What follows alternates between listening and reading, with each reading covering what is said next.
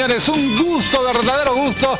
Pues yo a los, a los mexicanos los amo, los adoro. Yo siempre digo cada vez que viene un grupo mexicano, nosotros debemos tener algo con los mexicanos. No me vaya a salir con que es puñal, compadre. No, compadre, de ninguna manera, compadre. No con los peruanos, ni con los argentinos, ni con los brasileros ni con los venezolanos, ni con, los, colombianos, porque llegan los mexicanos y como que hay una atracción, hay algo que nos une, yo realmente los quiero muchísimo.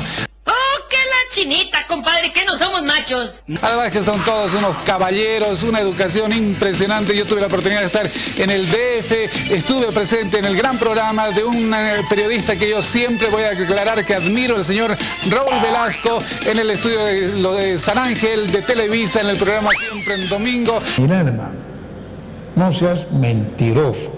No digas lo que no es, hermano. Después estuvimos en Monterrey, que es bellísimo para las fiestas de octubre. Me encanta México, me declaro admirador, enamorado de México. Señoras y señores. ¡Viva México, cabrón!